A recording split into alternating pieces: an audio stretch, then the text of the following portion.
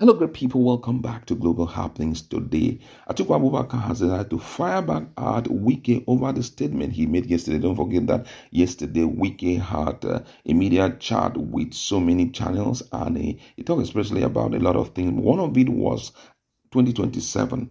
The fact that Atiku Abubakar will not be able to secure PDP's ticket. Nobody knows the reason why he's doing that, but you know, before Wike decides to take such or make such a statement, he's already putting up some strategy to ensure it doesn't happen. But however, Atiku Abubakar's camp has decided to also speak up concerning the statement made by Wike. Now, according to the news, the camp of Atiku Abubakar the 2023 presidential candidate of the People Democratic Party, PDP, has fired back at Minister of the Federal Capital Territory, Nyesom Wike, over his prediction regarding the 2027 election.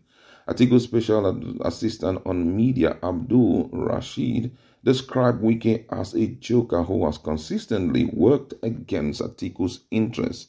Rashid pointed out that Wike has attempted to stop Atiku in 2019 and contested against him in 2023 only to lose. Now Wike is claiming he will still or we will stop Atiku again in 2027. The 40 year whiskey is a joker. Hmm. Rashid said. Wike had earlier stated that Atiku would not secure the PDP ticket in 2027 Citing the party's need for fresh leadership, he argued that Nigerians had rejected Atiku's economic blueprint in 2023 and that relying on one person for too long was unhealthy. In a live media chat in his office in Abuja on Wednesday, Wike said, Did he not present it before Nigerians? Did Nigerians choose him? He is lobbying for another chance that's the chance, but the chance will not be there in which party. How can we rely on one man for as many years? Look at America. I am sure you all did not support Trump, saying he is this, he is racist, he is that. We cried, but American, too differently or thought differently, made a decision for the good of their own country. You presented your blueprint in 2023. Nigerians hate you clearly and said thank you, but it will not work. We will not support you. Criticism does not mean the opposition is working. Trump was not in government, yet he got to work and told the Republican, listen, what do we do? We have to be serious. You can't silence people and say you will fight someone just because you feel he is too influential. Those were the words of Wike. Interestingly, also, still on the issue of that media chat, uh, Inibehe Effiong has spoken up also concerning the position of Wike in a lot of things. First of all, it was uh, Falana who lambasted him, but also reacting to it, a popular Nigerian human rights lawyer, Inibehe Effiong, has raised concern over the move by the Federal Capital Territory Minister Nyesom Wike to construct 40 judges' quarters in Katampe district in Abuja, reacting to the development which has generated mixed reaction among Nigerians. Effiong, in a post via his ex handle, urged lawyers and judges in the country to find a way to insulate court from Wike's perceived manipulation and greed. It's been reported that Effiong made this call on Thursday while reacting to human rights lawyer Femi Falana's view that it is wrong for Wike to give judges houses and cars.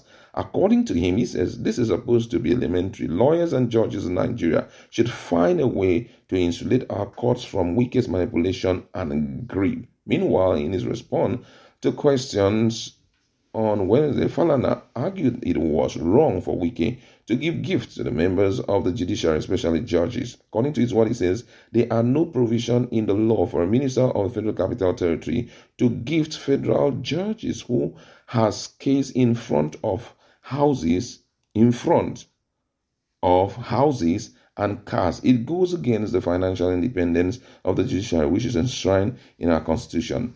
If the government wishes to give houses and cars to judges, they can write the National Assembly to make provision for it and send the funds to the National Judicial Council, who are empowered to appropriate the funds as required. That was the position of Falana ago. And my colleague is in the house. We just want to dive into this. First of all, can have a media chat.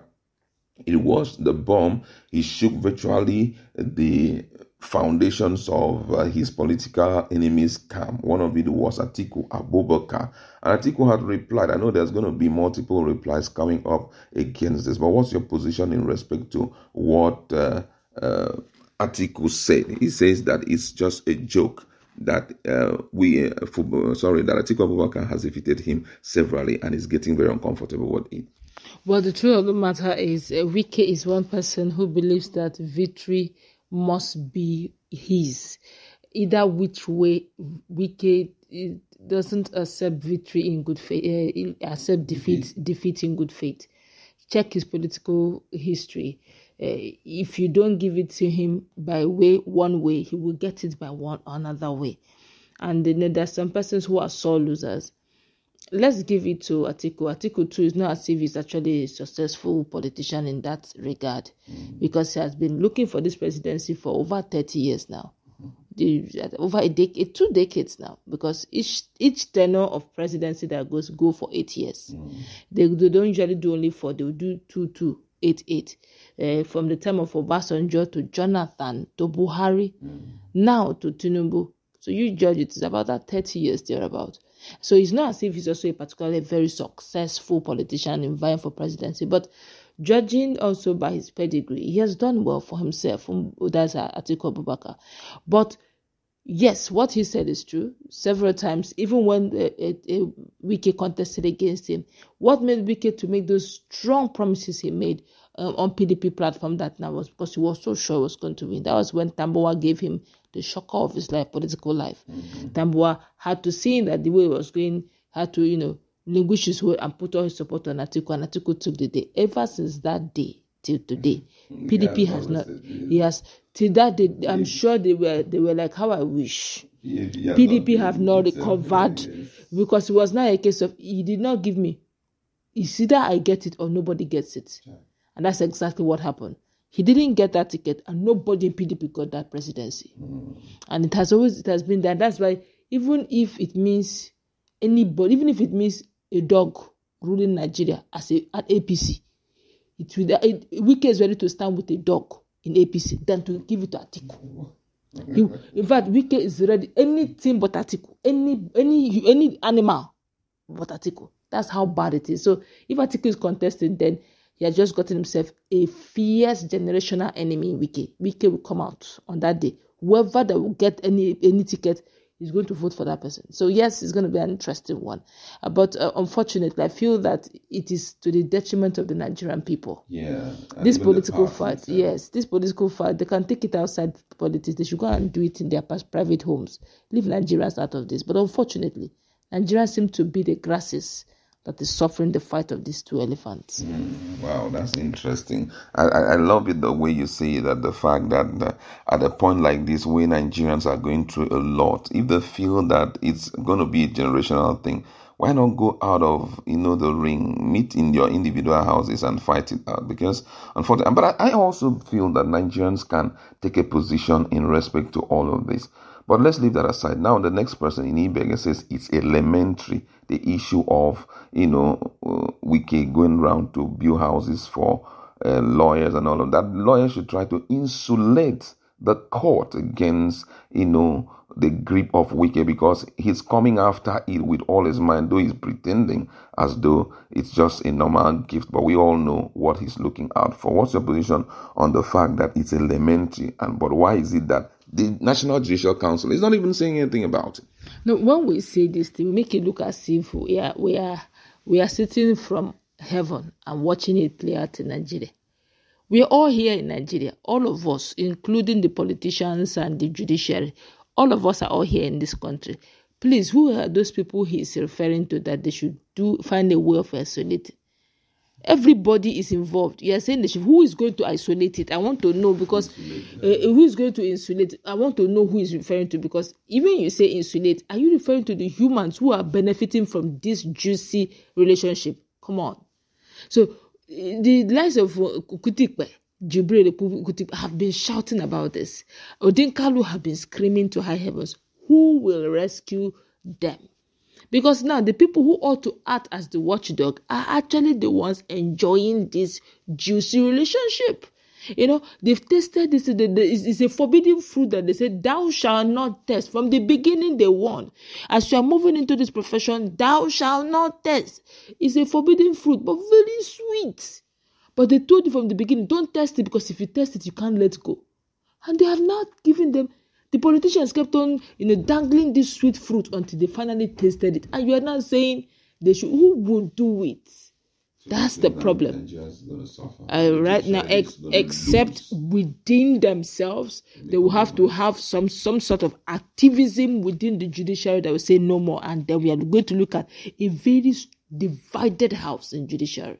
It will not be a case of the good and the bad fighting, but for the good to win, the head of the judiciary itself needs to be good. Yes, exactly. But if the bad will win, the head is the bad Yes. and we stylishly take part to the with the bad and in a technical manner look in this world to to to it's always mercy that speak. If you want to go by the law they ha- you can't be perfect. So any person who have been hammering on that particular uh, in a relationship just goof a little they knock you out goof a little they suspend after a while the voices that is negating this whole juicy relationship will start dissipating will start reducing and before you know it we are seeing a situation that is beyond repair but let's see how it plays out maybe you know god can still do wonders All right, that's where we're going to leave it. Let's meet in a conversation and talk more on this. What's the standpoint in respect to all of these Baha revolving around?